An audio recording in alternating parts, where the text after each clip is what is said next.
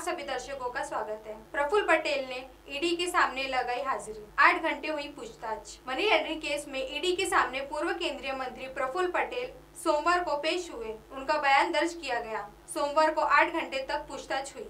ED सूत्रों ने बताया कि उन्हें फिर से पूछताछ के लिए बुलाया जाएगा। ईडी दफ्तर में उनके साथ वकील भी थे। ईडी ने शनिवार को दूसरी बार समन भेजा था।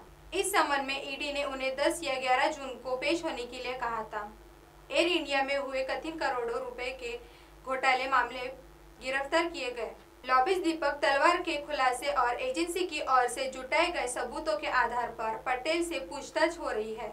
इससे पहले प्रफुल्ल पटेल 6 जून को ईडी के समक्ष पेश नहीं हुए थे और एयर इंडिया के फ़ायदे वाले मार्गों पर सीट शेयरिंग में हुए अनियमितता की जाँच के मामले में दूसरी तारीख देने का आग्रह किया था। एमएनएस न्यूज़ लाइव की खबरें देखने के लिए आज ही प्ले स्टोर से एमएनएस हिंदी ऐप डाउनलोड कीजिए और हमारे चैनल को सब्सक्राइब कीजिए। धन्यवाद।